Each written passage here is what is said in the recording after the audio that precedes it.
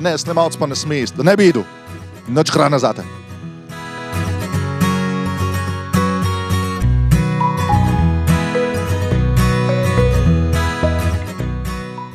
David Dobnik, sem pa direktor uh, v naši čokoladnici, ki obstaja že več kot 25 let. Dejansko smo prva mala čokoladnica v Sloveniji. Uh, začeli smo v 90-ih uh, z pralineji, ki smo se jih naučili delati v Belgiji. Kaj so ti izdelki?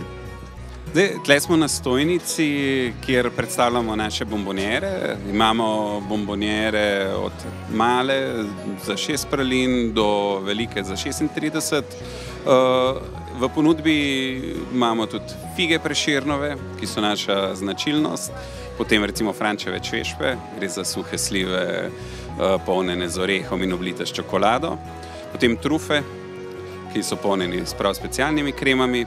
Tako da uh, gre za darilno embalažo, ki mislim, da razveseli vsakega, ki jo dobi.